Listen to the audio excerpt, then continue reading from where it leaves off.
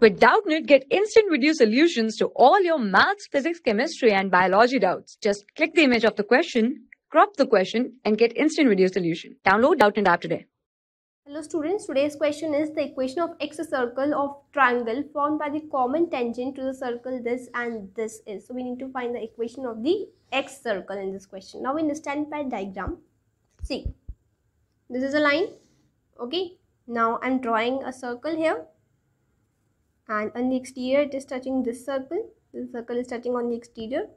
Now if I draw the tangent for these two like this okay and this and this here. Now its center will be what? It will be 0 comma 0 and its center will be 3 comma 0 how we got it? I'm going to explain it right now.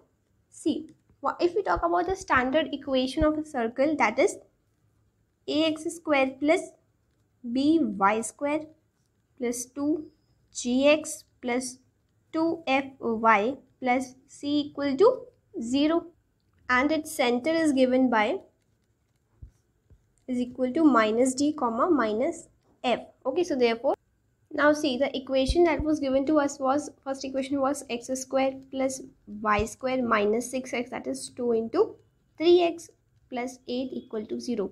So on comparing these two. We are getting the value for g as 3 okay? And we do here minus 3 that will be equal to minus 3 here. Minus 3 is the value for g. That is minus of minus 3 will be 3 and here f is not present here. So that means 0 therefore its center.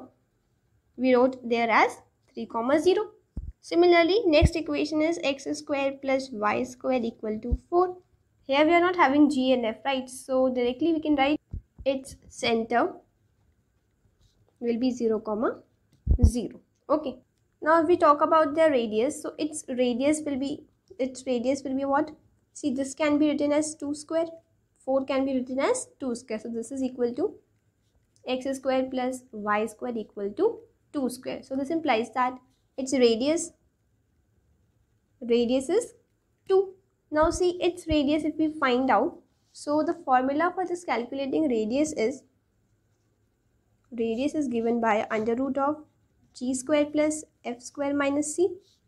So in the above equation we are having this as 9 plus 0 minus 8 that is root 1 so which is coming equal to 1. So therefore radius of this see here its radius let this be equation number one okay so therefore radius of circle in equation